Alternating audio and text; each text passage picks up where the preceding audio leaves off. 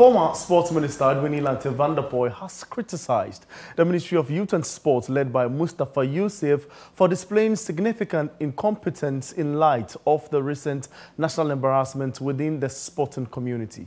Vanderpuye's remarks follows a statement from the ministry urging the Ghana Football Association to contact CAF for approval of the Legon Stadium and the Accra Sports Stadium to host Ghana's October Games against Sudan.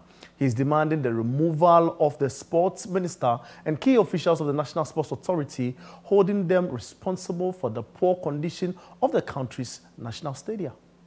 I need to? Well, if anybody is given a job and the person is unable to perform to the satisfaction of the Ghanaian people who gave him that job, that person is fired. The president has the power to hire and fire, and I'll be expecting the president, as I'm talking today, to have fired the Minister for Youth and Sports, the Chief Executive of the National Sports Authority, and all other people who have brought this embarrassment and, let me say, humiliation to us.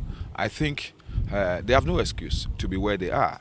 Um, they had time enough to be able to avert this uh, disgrace, and they didn't do anything about it. So they, they have been inept, they, are, they have been ineffective, inefficient in the discharge of their responsibility. So if the president is minded of the people who voted for him and the passion Ghanaians give to sports, he should take action.